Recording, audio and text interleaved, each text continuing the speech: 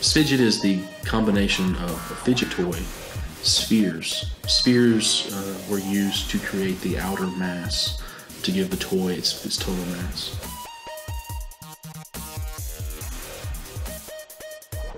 One of the things that I fell in love with after I held it for the first time is um, the way the light plays across the spinning spheres. It just makes almost like an infinite amount of concentric and intersecting circles of light. It's it's almost magical.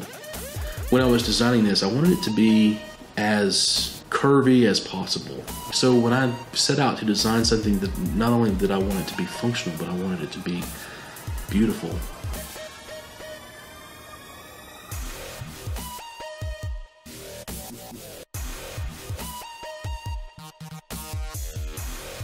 This fidget's kind of hard to explain.